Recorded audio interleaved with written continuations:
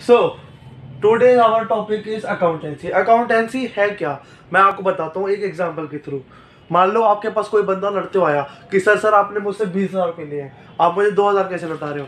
तो आपको भी अजीब लगेगा ना? तो कि आपने मान लो कहीं लिखा नहीं इस चीज़ को तो आप उसको बीस हज़ार रुपये देने पड़ जाएँगे। और ये हो जाएगी गड़बड़। तो इसी चीज़ के लिए अकाउंटेंसी बनी है। हमने रिकॉर्ड तो करना पड़ेगा ना वो रिकॉर्ड कैसे? कि हाँ मैंने दिमाग में रिकॉर्ड करा है। नहीं। हमें रिकॉर्ड करना है रिटर्न रिटर्न करना है। और वो कौन करता है? वो अकाउंटेंट करता है वो आगे की चीज़ है।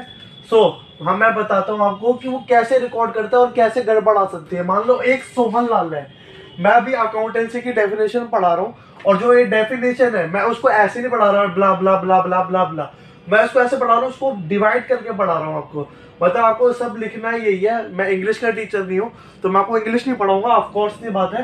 मैं आपको अकाउंटेंसी बताऊँगा। अकाउंटेंसी क्या होता है? मान लो आपके पास सोहन लाल आया, कह रहा, सर, आपके पास मेरे बीस हज़ार रुपए है। हम उसके क्रेडिटर है मतलब हमें उधार दे रखे है। उसने हमें उधार दे रखा है बीस के का।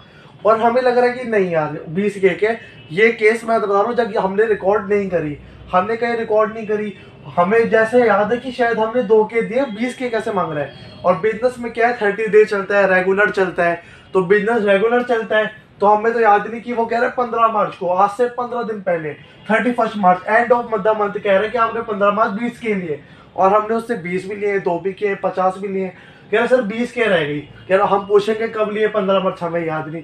मान लो, अगर हम उस चीज़ को रिकॉर्ड कर लें फ़र्स्ट पार्ट है, हम उसको चीज़ को रिकॉर्ड कर लें, उसको क्लासिफाई कर ले कि हाँ पंद्रह मार्च को छह बज के पंद्रह मिनट में, मार्च फिफ्टीन को छह बज के पंद्रह मिनट में हमने उससे दो के दो के लिए थे।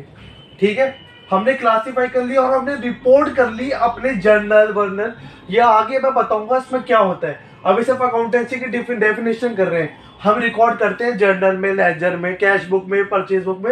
ये आगे की बात है। मेन बात, ये हो गया हमने रिकॉर्ड कर लिया क्लासिफाई कर लिया और रिपोर्ट कर लिया। मेन बात, अब फोर्थ जो सबसे इंपॉर्टेंट है अकाउंटेंसी समझने के लिए। हम अकाउंटेंसी पढ़ तो रहे हैं, पर अकाउंटेंसी है क्या चीज़? ये हम बताते हैं। Communication of financial and non financial transaction non financial transaction of financial मतलब ये मैं बता रहा हूँ, जैसे कि हम मेरी और मम्मी के बीच में जो ट्रांजेक्शन हो रही है, वो नॉन फाइनेंशियल और फाइनेंशियल जो दो बिजनेसमैन के बीच में हो रही है, वो फाइनेंशियल है.